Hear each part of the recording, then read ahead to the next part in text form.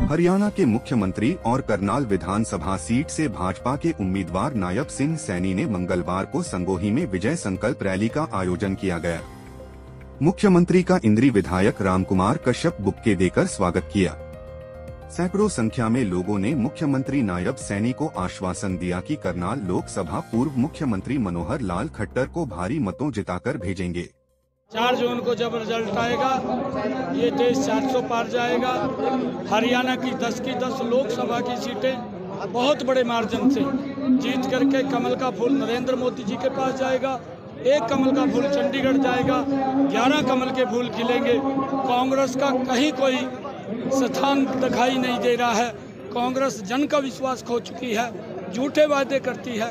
झूठ बोल करके वोट लेना चाहती है लोग समझ चुके हैं।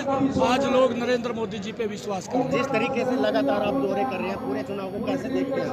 देखिए मैंने कहा है कि पूरे प्रदेश के अंदर आज एक ही वातावरण बना हुआ है कि मोदी जी को बहुत बड़े मार्जिन के साथ तीसरी बार प्रधानमंत्री बनाना दस के दस लोकसभा की सीटें देनी ग्यारहवीं विधानसभा की ग्यारह कमल के फूल खिलाने राहुल गांधी का बयान है एक लाख रुपए उनके खाते में डाले जाएँगे क्या झूठ बोल रहा है। झूठ बोल करके वो वोट बटोरना चाहता है। वोट जिहाद अगर किसी को कहें कि लोगों की झूठ वोट लेकर के उनके हालात के ऊपर छोड़ना।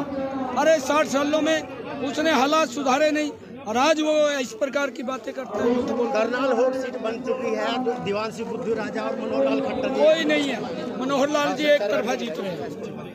इंद्री से मेनपाल कश्यप की रिपोर्ट कैमरामैन युगमार्ग टीवी।